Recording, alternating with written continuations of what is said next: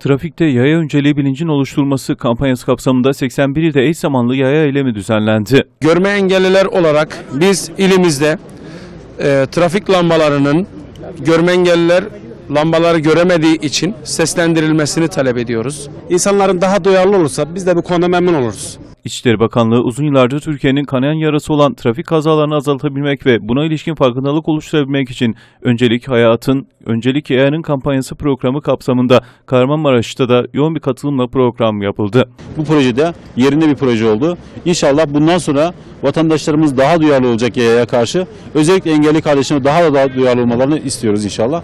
Programa katılan Kahramanmaraş Valisi Vahdettin Özkan Aksu Haber'e yaptığı açıklamada bu kampanyalarımızla sürücülerimizi bilinçlendireceğiz dedi. sürücülerimizin e, özellikle yağların hakkına riayet edecek bir tavır tutum içinde olması, aynı şekilde trafik altyapısının iyileştirilmesi, okul çevrelerinde güvenlik tedbirlerinin iyileştirilmesi, bu çerçevede de anneyle, babayla, öğretmenle, ebeveynle veya yolda yürüyen herkes aynı zamanda trafik sisteminin ifade eden herkesin kuralları bilmesi, buna uyması önemli anlamlı. Kahramanmaraş İl Emniyet Müdürü Doğan İnci ise konuşmasında yayalarımızda sürücülerimiz de kurallara uymalı dedi.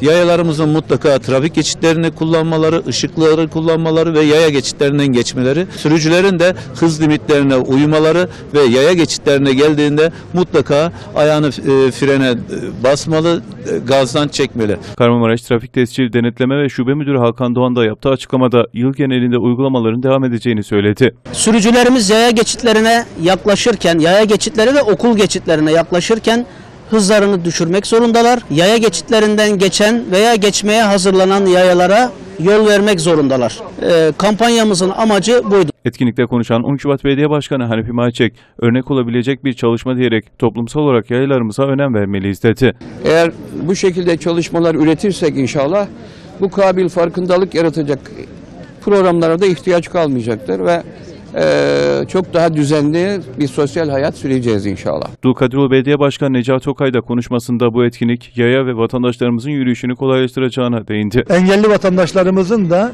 e, yaşam standartına biraz daha katkı sunacak.